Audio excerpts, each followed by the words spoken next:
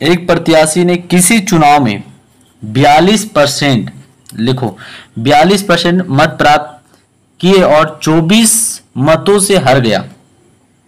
तो मतों की कुल संख्या बताइए ठीक है? मतों की कुल संख्या आप सिर्फ़ दो दो प्रत्याशी की आ, कल्पना कर सकते हैं। लोग देखो 42 परसेंट इसको वोट मिला है और 42 परसेंट वोट मिला और 24 मतलब 24 वोट से क्या हो गया? 24 वोट से हर जाता है ये। ठीक है? चलो 42 परसेंट ही वोट पड़ा इसको, ठीक है?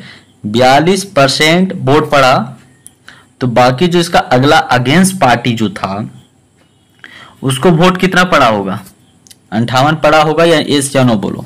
अंठावन परसेंट वोट पड़ गया, ठीक है? अब बताओ इसका जो डिफरेंट है बाबू डिफरेंट कितना आएगा? इसको करो डिफरेंट तो डिफरेंट कर दोगे बयालीस और अंठावन में तो आ जाएगा सोलह। सोलह आएगा ना?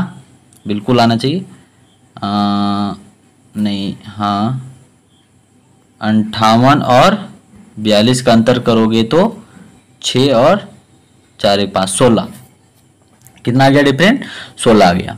बताओ तो कितना मत से ये हारा है तो चौबीस मतों से हारा ये जो चौबीस नज़र आ रहा है ना ये चौबीस आ रहा है अपने आप में कितना परसेंट है बताओ?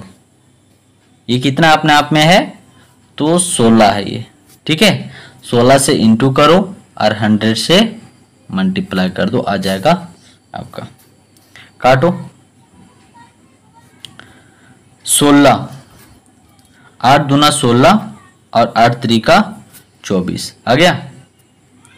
और दो एकम, दो और दो पचे दस, एक सौ पचास। टोटल वोट कितना मतलब टोटल वोट का यहाँ पे संख्या बता रहा था टोटल कितना आ गया? एक सौ पचास आ गया। समझ में आया सबको? यस या नो फिर से बता दें। चलो एक बार फिर से देखो रिपीट करते समझो क्वेश्चन को। एक प्रत्याशी ने किसी चुनाव में 42 परसेंट मत प्राप्त किया और 24 मतों से हार गया। मतलब जो ये व्यक्ति, जो 42 परसेंट जिसको वोट पड़ा ना, वो हार चुका है। ठीक है? कितना वोट से हारा है? तो 24 चौबीस वोट से हरा है। ठीक है, और जो अगला पार्टी जीता है ना, वो कितना उसका वोट पड़ा होगा? तो अंठावन परसेंट पड़ा होगा कि नहीं पड़ा होगा? बताइए जो डिफरेंट हुआ, कितना का हुआ? सोलह का। डिफरेंट कितना का हो गया? सोलह का हो गया।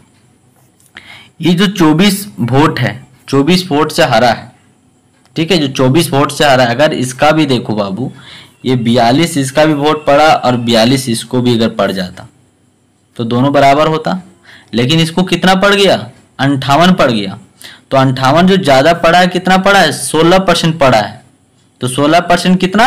ये जो चौबीस वोट से हरा है ना, ये चौबीस वोट इसको ज़्यादा पड़ गया।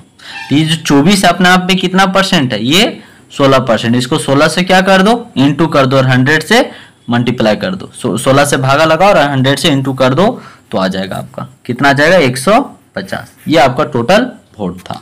यानी टोटल वोटिंग लोगों की कितनी थी तो 150 वोटिंग थी। ठीक है?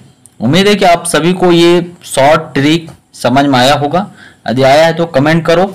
और यदि आप चाहते हो कि नहीं, थोड़ा और इसको बढ़िया तरीका से सॉल्व किया जाए बोर्ड पर, ठीक है तो आप कमेंट करना। ठीक है स्टूडेंट्स ठीक है? नेक्स्ट वीडियो में मिलते हैं। तब तक के लिए all the best thank you